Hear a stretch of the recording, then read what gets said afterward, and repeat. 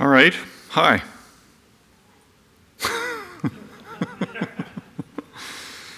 Last time I spoke to this crowd was two years ago in Toronto. Um, all right, so um, who am I? Richard Guy Briggs.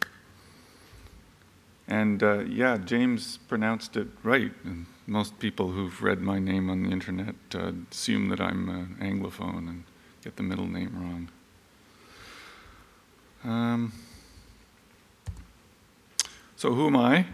Um, so live in Ottawa, raised in Ottawa, one of the few who actually still there uh, or native. Um, started off doing pet uh, stuff, um, assembly language, well, machine language stuff really, because uh, I was going right to the sources and, uh, and hard coding stuff. Um, then graduated to some PDP-11 and Fortran stuff. Um, computer science, uh, sorry, computer science initially at the University of Ottawa, but then switched over to computer engineering, uh, got involved with FreeSWAN. Um, that's really where I, uh, uh, I guess, widened my horizons and got involved in the Linux community. Uh, that was pretty significant in terms of also introducing me to the wider world of security and the IETF and standards. Um, that was quite a fun project. Uh, worked on that for six years. Um, and then got involved with a local company in Ottawa doing uh, imager device drivers, again in the kernel. Um, then I've been with Red Hat since 2012. Um, online, I'm known as uh, RGB or Sunracer. Been involved in sun, uh, sorry, in solar car racing, which is where the Sunracer uh, handle came from. Um, weird bike guy. So this Humpty Dumpty bit, that's related to this uh, appendage that I'm carrying with me. Uh, let's see if I can, so that sort of quickly explains what this is all about. um, that uh, happened about 200 feet in front of my house on a bridge that crosses right in, the river right in front. So uh, that the, the, picture on the left was taken about uh, six days before the picture on the upper right and the bottom right. So yeah, i am surprised I didn't actually set off the, uh, the metal detector in the airport. In fact, it was my, it was my bike cleats that set off the uh, detector in the airport. Um, yeah. So what's audit? Uh, it was introduced by Rik Faith at Red Hat in 2004. Um, and then since then, uh, it's been added to and, and um, enhanced and fixed and repaired and patched and um, it's basically secure logging that's uh, embedded in the kernel itself. Uh, so the idea here is that uh, syslog um, is not a secure logging system. Um, and what's being attempted with audit is to create a system that can be uh, used in a court of law, some of the logs can be used in a court of law to be able to say this attack happened. We know that this happened at this particular time, and uh, be able to uh, uh track things down a little bit more assuredly. Um, it works well with other LSMs. Uh, particular SELinux is the one that uh, um, it has been most closely tied to, um, but certainly other LSMs make good use of it. Um, there's a user space daemon um, and it logs either to disk or to network.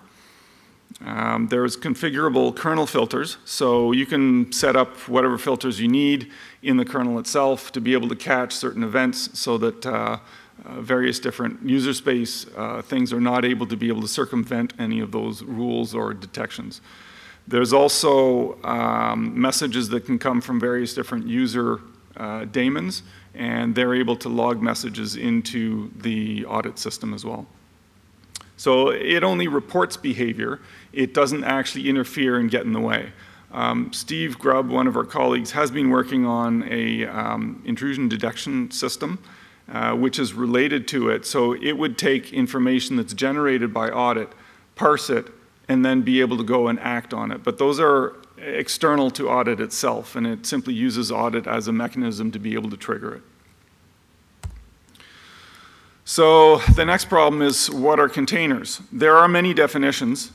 Um, and there's many people out there who've been trying to solve this problem of what is a container. And so there's various different subsets of namespaces and seccomp and cgroups that have uh, been used to create containers. Unfortunately, there is no consensus in the community as to what a baseline of namespaces are required to be able to do this. If we did have a baseline of this is the minimum namespace that we need to be able to make a container, we could have already used that information and said, okay, well, we can use that as an identifier and go from there. Unfortunately, that's not the case. So the kernel has no concept of what a container is. And so we're looking for some help and it's kind of like, okay, well, we need to log some event that happened. We want to know what container did this happen in, if it happened in any container at all, or whether it was the host itself that somehow has a rogue process. So uh, the next step was um, we know that the, the container manager, the orchestrator, knows uh, this information, and so it needs to report this. So at the previous um, talk two years ago, I came up with the question of, do we go with a container ID or a collection of uh, namespace IDs? Um, there had been previous work, uh, so all right, back up a second here. So what's the problem? Um, as far as audit is concerned, uh, there was, you know, the Highlander phrase, there can be only one. So previously audit, um, you start up an audit daemon, and then if you started up a second one, it would basically disconnect the first one or ignore it and continue. That's been fixed now. So if you try and start up a second one, it'll go, no, you can't. There's already one running unless it somehow has died, in which case it'll replace it. Um, so the, the problems we were trying to avoid there was uh, orphaning uh, earlier ones or um, blocking out new ones. Um, the audit itself is not able to trace the task that uh, has caused a particular event to a specific container we had looked at using a combination of namespaces and say, okay, well, this collection of namespaces was responsible for this particular event, so we should be able to trace it back and say, I think it must be this container over here because this combination was registered by an orchestrator. It, this gets really complicated and it, um, uh, I guess there are some arguments that have been made that uh, this is a user space job to be able to figure all this st stuff out but it just got really too complicated and it, it wasn't, uh, uh, we didn't have the, the certainty or the assurance that that really was the case. So uh, we tried to find another way. The idea here is to make uh, security claims about containers um, because we're just seeing, we're, we're, getting more and more people um, asking for this particular approach and say, well, we want to run a container, but we want to be able to uh, make assurances about what those containers are doing and uh, where they came from. So it's, it's part of the whole tracking mechanism that we're trying to set up. We're also needing it for, um, uh, to filter logging itself. Uh, so there may be certain containers which we're not concerned about or uh, certain um, uh, events that we don't care about. So we want to be able to filter the logging itself to reduce the amount of volume to deal with, because that can uh, create a denial of service attack in terms of uh, logging stuff to disk. The other aspect, of course, is in doing searches. So if we've got the container ID, we can do a search on the particular container ID and pull up all of the events that are related to it, or perhaps not related to it. Um, further down the road, we're going to be looking at how to route audit messages to different uh, daemons. So right now, there is only one audit daemon, but we're still uh, doing some architecting and planning. Um, my colleague Paul Moore, sitting right in front of me here, is the person I'm working with on that, um, trying to come up with a uh, design or a plan uh, to be able to figure out how to route those messages to different audit daemons and allow more than one daemon to run at the same time, uh, which could take care of a subset of containers and be able to say, okay, well, this daemon here is responsible for that pod or whatever, and be able to, to have a bit more flexibility in terms of uh, uh, managing routing and where that stuff's going. So the conclusion there was that the NSID uh, namespace uh, identifiers uh, tracking was too complex and it was incomplete. In terms of history, goes back more, the, yeah, about a bit more than five years. Uh, one of our colleagues, uh, Aristeu Rozanski, had come up with a uh, proc inode uh, ID for each namespace and uh, tried to uh, promote that. There were some issues. Uh, the namespace folks said that's insufficient. So we added the device ID to be able to try and nail that down. Um, then the ID came up to use a serial number um, within the namespace instead of the proc because the proc inode, um, there was some reservations about we would like to reserve the right to change the meaning of this um, if things are migrated or change it uh, another time. So came up with a serial number I prototype. It was eventually discarded because there were some concessions that, okay, this is probably getting too complicated. We need to take a step back. Um, meanwhile, Al Viro reworked it for um, namespace file systems. Um, and then eventually moved on and abandoned the namespace ID as impractical and insufficient. So the namespace ID patch set, I have updated it. Uh, there's still some use for it, but it uh, is insufficient for doing the, the core stuff of tracking uh, container uh, problems. So namespace uh, concerns are still there. It's just that they're not uh, the primary concern of container identification in audit events. So the conclusion from before was that there weren't any issues with um, four of the namespaces. The net namespaces were okay for now. We're going to need to do some more work on the name, network namespaces because of the need to have multiple audit daemons. We were talking last time about having the audit daemons tied with a user namespace so that we could uh, have uh, basically one audit daemon per container. And that after some discussion and more, more wrangling on mailing lists, it was determined that that really is not going to be particularly practical.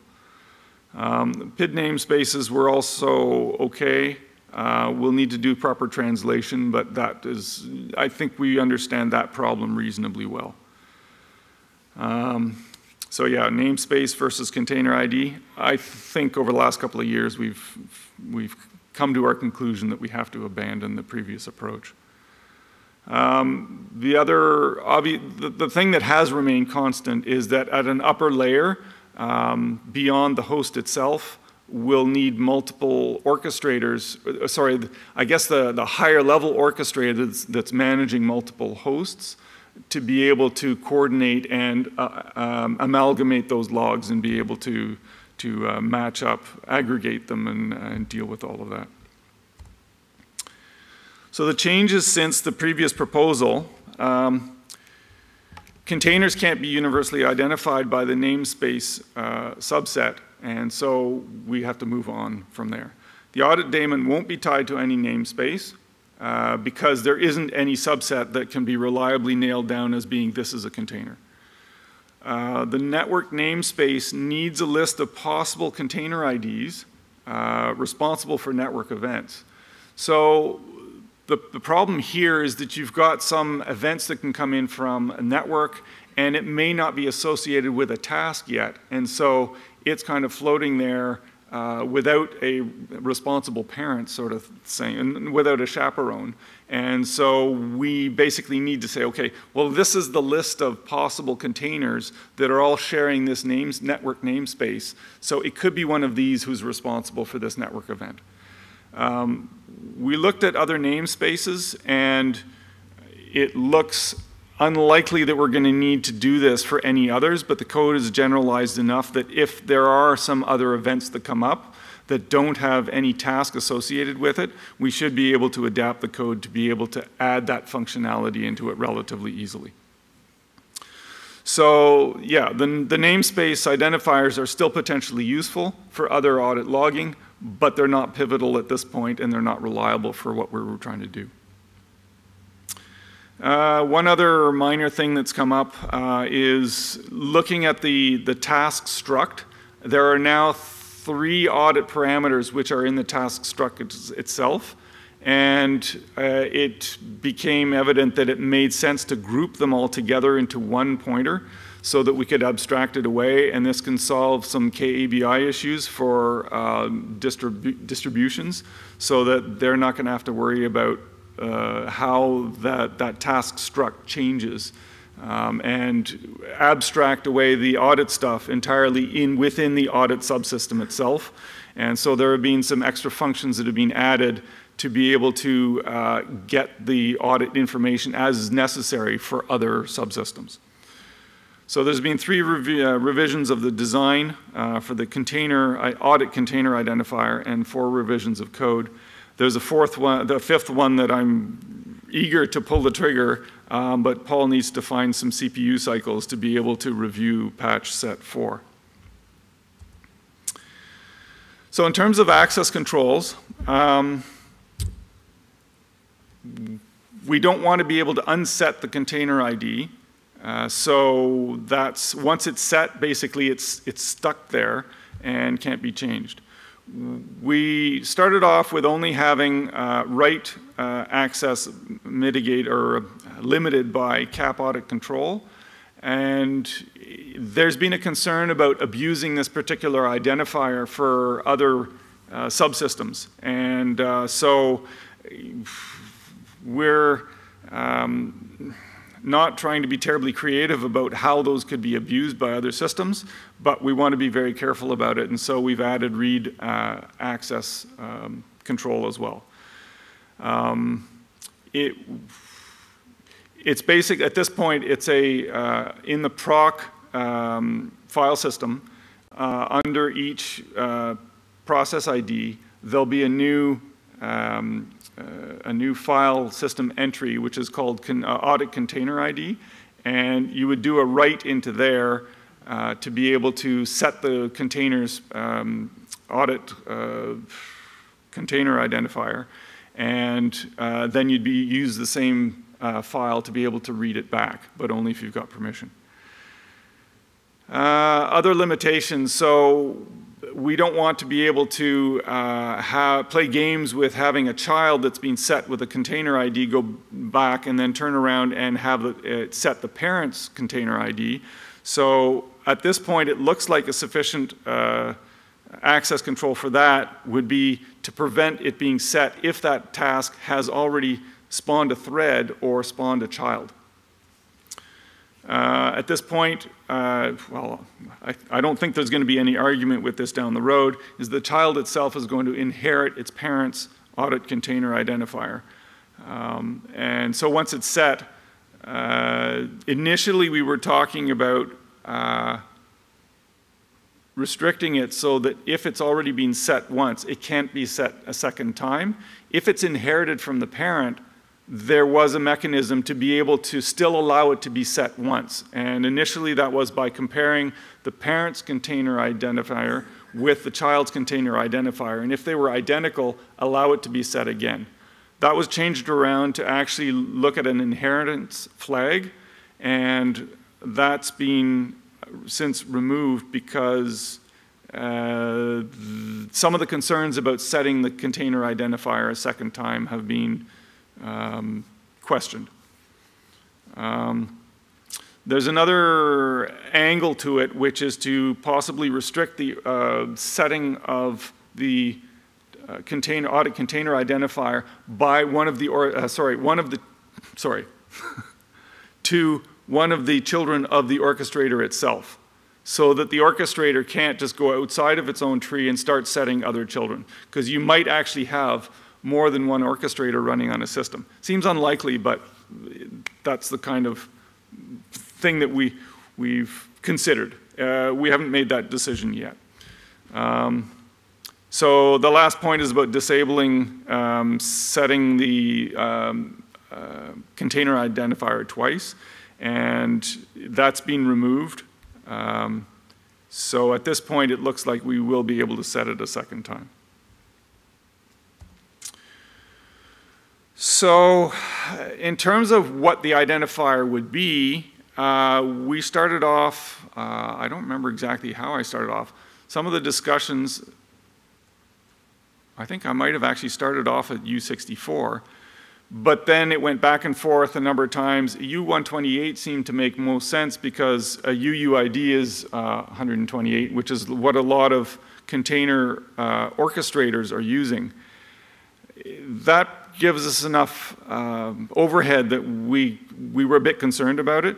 Paul really would like to see a U32, but has conceded, conceded a U64 should be enough to be able to give us enough uh, bits to play with so that uh, collisions are unlikely.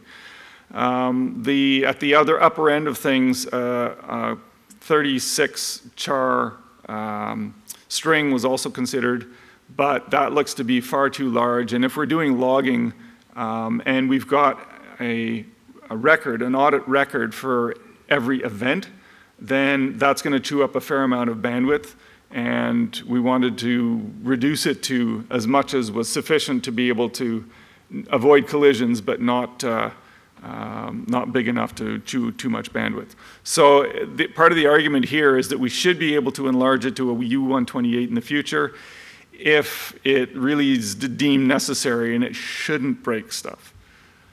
Um, at this point, in terms of records, there are two new records that are being proposed. One is the initial record when a uh, audit container identifier is first set, and that would give some of the background like who's the parent, who's the, the parent, the container orchestrator, who's setting this, what's the target PID, um, and some other information about uh, the, the circumstances to be able to nail it down and identify who the players are. Uh, the other uh, record would be an audit container auxiliary record to syslog uh, events, uh, syscall events, sorry, um, if, only if the container identifier is set. So if it's not set, the record simply doesn't show up. Um, there's a new field uh, that's been added for kernel um, user space communication.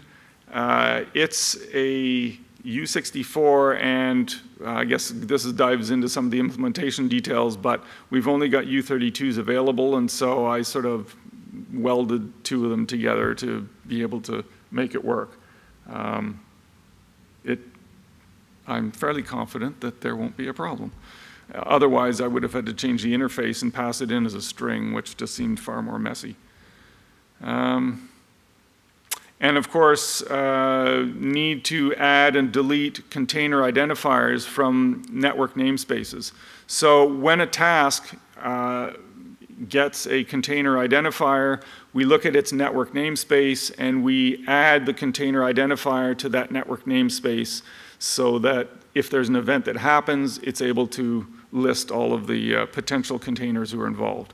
If there's a second process that's in the same network namespace, then it will uh, add it to a list, and then if an event happens, then it will go through and itemize each one of the potential container identifiers that are involved in, in that particular event.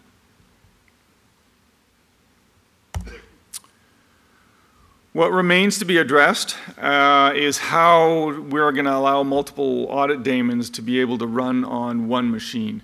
So at this point, uh, we would have to solve some of the network namespace issues. Uh, they don't seem too daunting at this point, um, but there are some concerns that we'll have to uh, take care of. Each one would have its own uh, rule set and its own uh, queue. So if you've got a separate audit daemon running, it's going to monitor a set of things, and it could overlap with other audit daemons, that's fine.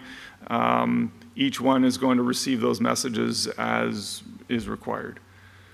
Um, the other big one is that auxiliary audit daemons not be able to affect the, the, the host configuration or the host audit daemon.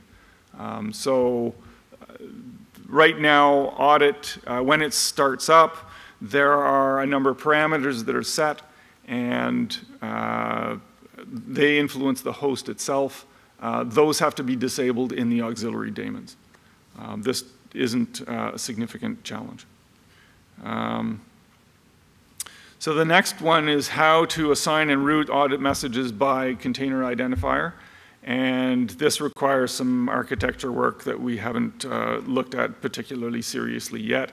Um, it's a matter of setting up a configuration file for each audit daemon um, that is not going to interfere with or uh, tamper with the host itself. Um, something that Paul has mentioned recently is the need for LSM hooks to be able to set the container identifier itself on various tasks. Um, that's most of the concerns at this point. So in conclusion, um, the namespace identifier was infeasible to track containers itself and had to move on beyond that uh, to try and find something that was uh, easier to implement and a lot easier to be able to track. Um, the 64-bit uh, unsigned balances kernel efficiency with uniqueness. Um, coming back to that, uh, a U64 um, is a single operation to do a compare in the kernel, whereas if a a U128 would have been multiple uh, compares. Um, so if we're, if we're trying to manage lists of audit daemons and routing and that kind of thing, then those compares could have added up. So we've got uh, a record, a new record now for each of uh, creation and uh, routine events that, that happen. Um, and there's now a filter in place to be able to uh, filter on that container identifier. Um, the net namespace isolated events get special treatment. If we have other things that come along, then that could uh, also. I'm, the only other thing I'm thinking of that could be in that sort of class is some sort of hardware failure where maybe you've got a disk that gets a bad sector or something like that, and it's going to throw some uh, thing that is monitored by audit and it doesn't belong to any particular task. And it might say, okay, I need to report this event.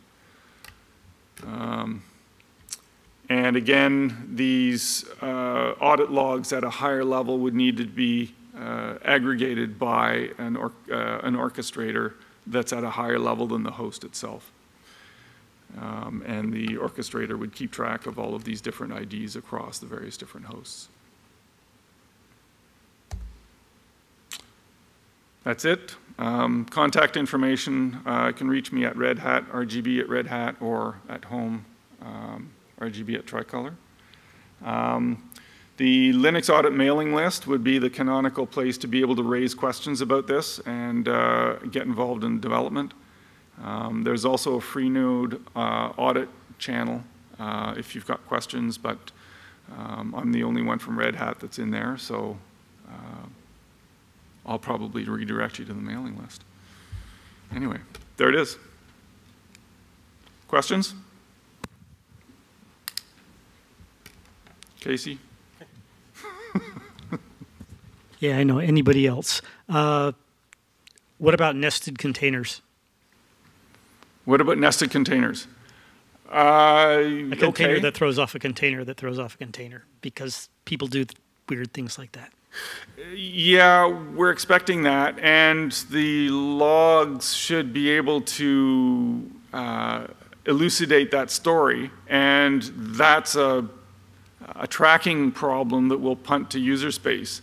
And basically, the, the information's there about this particular orchestrator spawned a process which was another orchestrator, and it will have the, the, the information for the container IDs of both the parent and the child.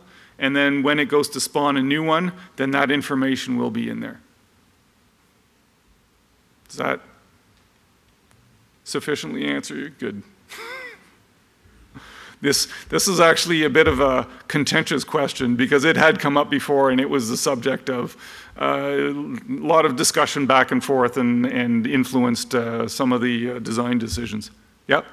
So what kind of overhead does auditd and its associated management introduce? Uh, I don't have those numbers, but they've been around for more than a decade.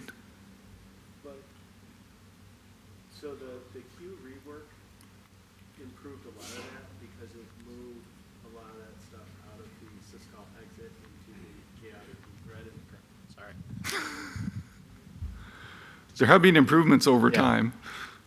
So, uh, like everything, right? There's no good, easy answer for that. Like, I can't just say, oh, 4%.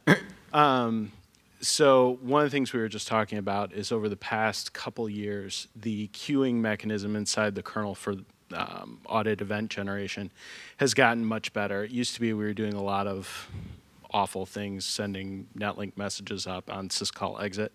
We've now moved that off to a separate thread inside the kernel, um, so that that should improve things quite a bit. So you've got a separate thread doing all of your netlink messages up to the audit daemon so that they can be collected and written out to a disk. Um, but in general, auditd is really just a collector. You know, I mean, we don't want to write to disk directly from the kernel, right? That's bad. Um, so the auditd itself doesn't really provide any sort of overhead. It's all going to be the audit processing inside the kernel. Um, as far as what that overhead is going to be for any individual operation, it depends entirely on what your audit configuration is. Um, you know, if you're if you're generating audit records for every syscall on the system, um, guess what? The overhead's going to be pretty bad. Um, the good news is we will actually. That's fine. You can actually start up the system and it'll operate. It'll operate very slowly, but it will operate and you can then shut it down. It used to be that wasn't the case. Um, but anyway, there are filters that you can put into the kernel that happen at event generation time. So you can mitigate that overhead to whatever you want it to be. You know, like everything in security, there's a big knob, right? How much information do you want and what are you willing to pay for it? You can filter out individual events or classes of events. You can also filter out uh, records. So if there's certain records you don't want to see, then the record itself won't be generated, whereas the rest of the event will still uh, show up. Um, currently, there's a pretty heavy use of uh, printf in those messages, and there's a lot of overhead associated with that. So down the road, we're looking at changing the API for audit to uh, basically give binary uh, information in a more organized way so that it causes fewer problems for the user space parsers to be able to uh, look for patterns in the logs. Um, that's ongoing work.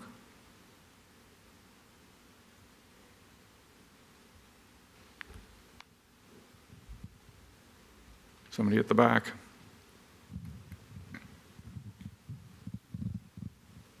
So, do you have buy-in from the other kernel developers for this container ID? And I, the primary one that I was concerned with is Eric Biederman, who's the namespace guy. Uh, he had some pretty strong opinions about this stuff.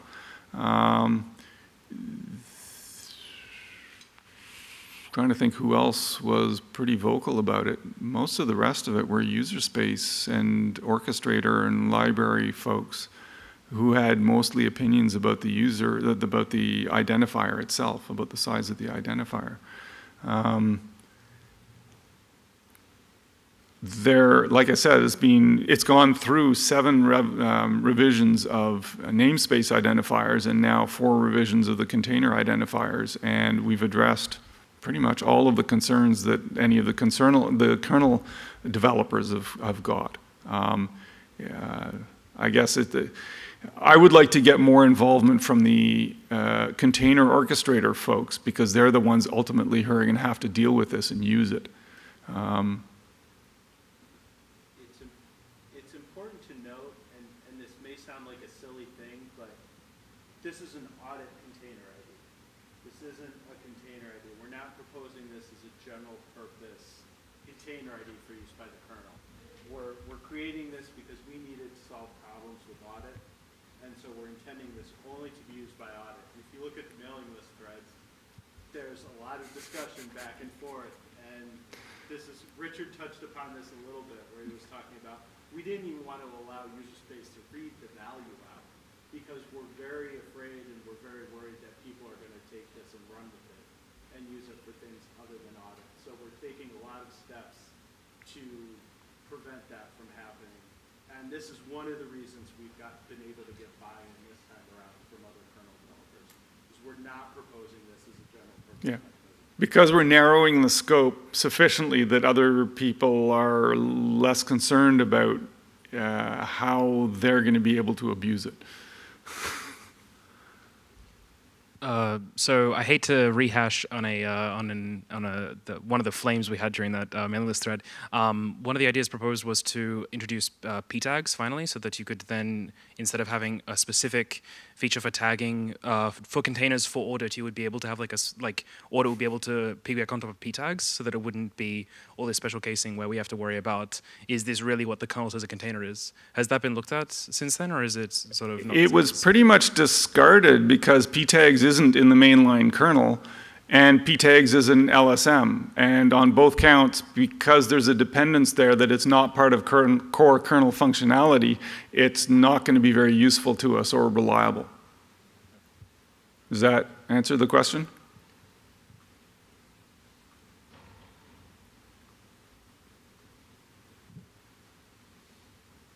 Any more questions? Over here again?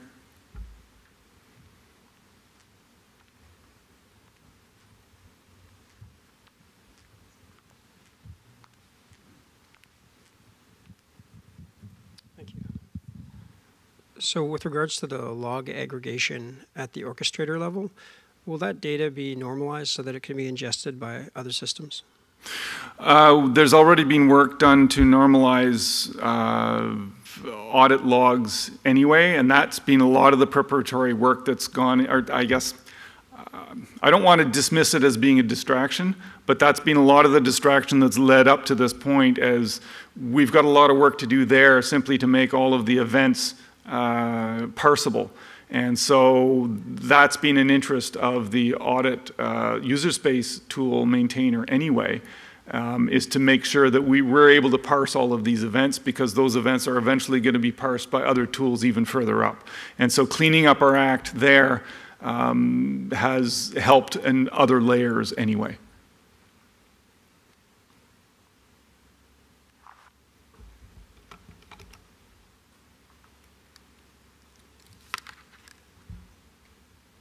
I think that's it.